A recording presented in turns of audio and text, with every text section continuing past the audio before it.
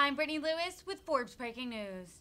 Congresswoman Teresa Leger Fernandez addressed the Texas school shooting during a House Education and Labor Committee hearing last week.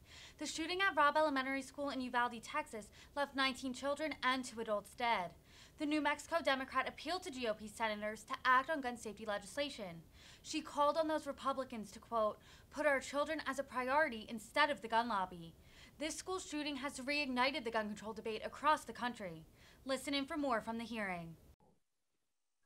Next is a Gentlelady from New Mexico, Ms. Leger Fernandez.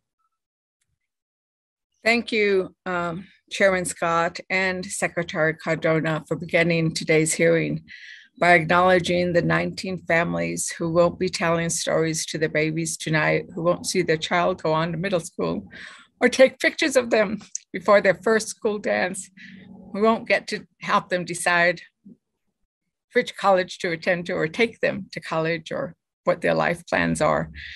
You know, it's not just them, but we know that Uvalde, uh, what we've learned of it is a tight knit community, and the whole community is suffering. Señor Cardonas, gracias por hablar en español para nuestra gente, porque no hay palabras, ¿no? Para describir el dolor y la indignación que sentimos por la muerte de estos inocentes niños. América, todos deberíamos llorar y sufrir para las familias. En lugar de estar ahí para aprender y conocer tus amigos, ¿no? Estás ahí llorando. Es una tragedia para toda nuestra nación. And my constituents and I are sick of inaction. The House passed multiple bills to address the gun violence crisis, some of them even with some Republican votes, bipartisan. And all we need is 10 Republican senators who have the courage to stand with the nearly 90% of Americans who support sensible gun safety legislation.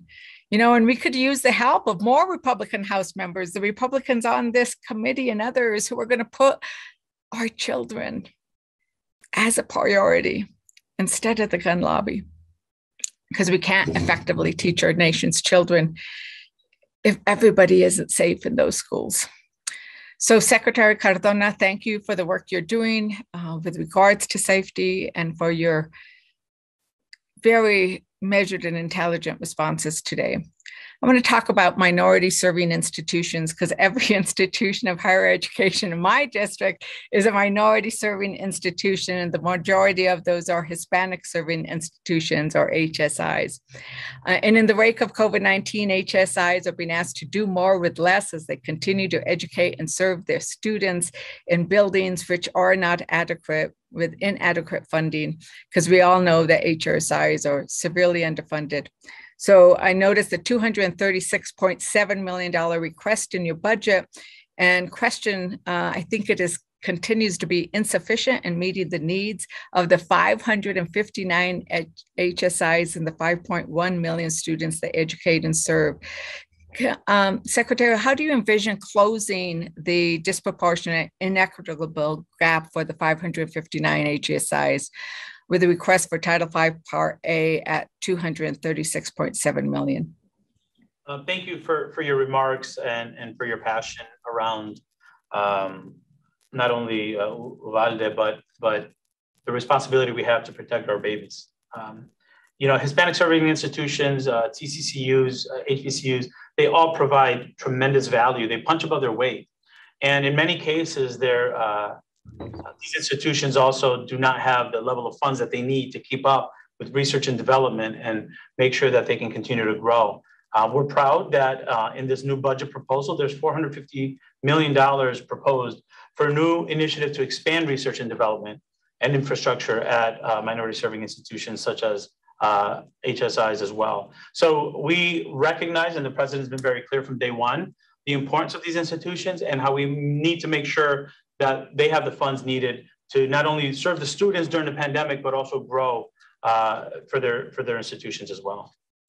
Thank you. I also want to discuss uh, an issue that is brought up to me wherever I go, and uh, that is education workforce shortages, especially uh, the need to recruit a diverse workforce here in New Mexico. It is Native American and Latino bilingual education speaker, speakers. We don't have a lot of time, um, but um, how are you going to be working to support states and school districts in strengthening and diversifying the educator workforce? Thank you. Our, our proposal does ask for funds there. And so I'm going to be very specific. I want pipeline programs in our high schools. I want high school students getting high school credit and college credits and, and be connected to a, to a four-year school so that that four-year school, when they graduate, they're ready to go back into that community that served them so well to become teachers. I want to use the funds to initiate programs that have apprenticeships around teacher preparation programs, uh, mentorship programs to retain our teachers too. It's not just getting them, it's keeping them in the profession. And I want to make sure that we're supporting our teachers and elevating the profession so more people want to go into it. Thank you, Secretary Cardona. And that issue of getting them from the community, because then they'll stay in the community is so key. Uh, I yield back, Mr. Chairman. Thank you for this hearing. Uh, thank you.